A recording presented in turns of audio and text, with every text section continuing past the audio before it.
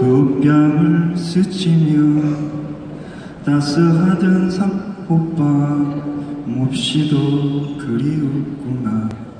예, 동민 여러분 안녕하십니까? 어느덧 따뜻한 호빵이 생각나는 계절이 돌아왔습니다. 먼저 생활 쓰레기 배출에 대해 다시 한번 알려드립니다.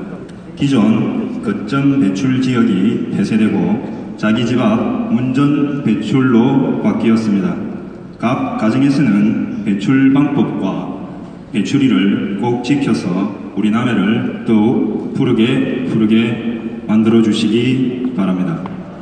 네, 다음은 어 아주머니 지금 거기 쓰레기 버리시면 안 됩니다.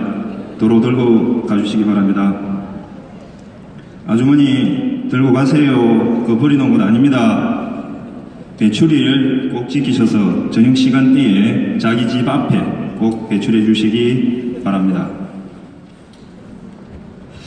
하, 아줌마 방송을 하고 있는데 자꾸 그 버리고 있습니까?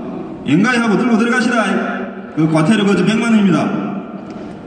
어, 저 아저씨는 또 먹고 아저씨 그 버리면 안 됩니다. 그 들고 들어가세요. 아, 저 아저씨 참으로 운동된 사람도 아니고만은 그 저 들고 들어가시라. 그 벌금 물립니다.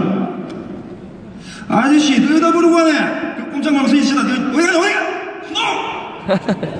아, 예. 자 토끼 빛입니다. 꼭 잡으러 갑니다. 예. 다음은 아닌 밤중에 너머다리를 긁고 있는 옆 동네 화서방골 윤씨 아저씨께 알립니다. 어, 몇년 동안 밤을 꼬박 새어가면서 튼튼하게 예쁘게 다리를 맹글어 놨더만은 느닷없이 너무 다리를 그리 빡빡 긁어 사십니까? 그 다리는 백날 긁어봐야 안 시원한게 너무 다리 긁지 말고 제발 정신 차리고 딴디 하시기 바랍니다. 예. 그리고 그 다리가 두 다리입니까? 네 다리요, 네 다리. 에이! 제2남이대교 네 다리라고! 너무 다리 앵간히 긁고 대매 고픈 소리 하지 말고 아이 다리 피난다 이거. 네 따스한 국방이 생각나는 오늘 아랫목에 누워서 내 다리나 시원하게 끌고 오시기 바랍니다. 예 포근한 밤 되십시오. 감사합니다